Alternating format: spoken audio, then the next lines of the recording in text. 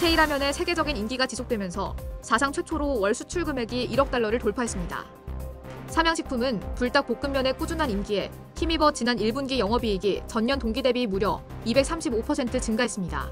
삼양식품뿐 아니라 농심과 오뚜기 등도 해외 실적에 따라 1분기 경영 성과가 엇갈린 것으로 나타났습니다.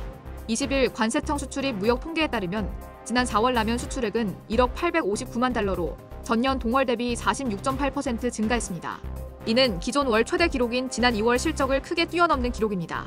라면 수출 금액은 지난 2015년부터 지난해까지 매년 꾸준히 증가해왔으며 올해 4월까지의 수출액은 총 3억 7,886만 달러로 전년 동월 대비 34.4% 늘었습니다.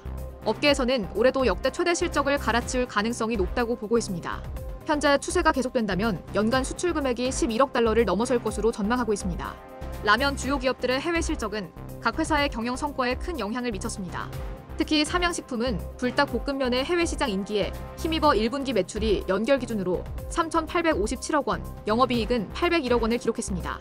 이는 전년 동기 대비 각각 57%, 235% 증가한 것입니다. 특히 해외 매출이 전년 대비 83% 증가한 2,889억 원으로 전체 매출의 약 75%를 차지했습니다. 미국과 중국에서의 매출 성장률이 두드러졌습니다. 미국 내 월마트와 코스트코 등 주요 판매 시설에 입점하는 한편 보완율도 긍정적인 영향을 미쳤습니다. 환차익이 영업이익에 반영되어 내수 대비 높은 수익성을 거뒀습니다. 삼양식품 측은 해외 매출 급증과 보완율에 따른 환차익 효과로 인해 1분기 수익성이 크게 늘었다며 2분기에도 해외 법인을 중심으로 현지 맞춤 전략을 강화하고 판매 채널 확장에 집중해 성장세를 이어가겠다고 설명했습니다. 오뚜기도 해외 사업에 선전해 힘입어 호실적을 거뒀습니다.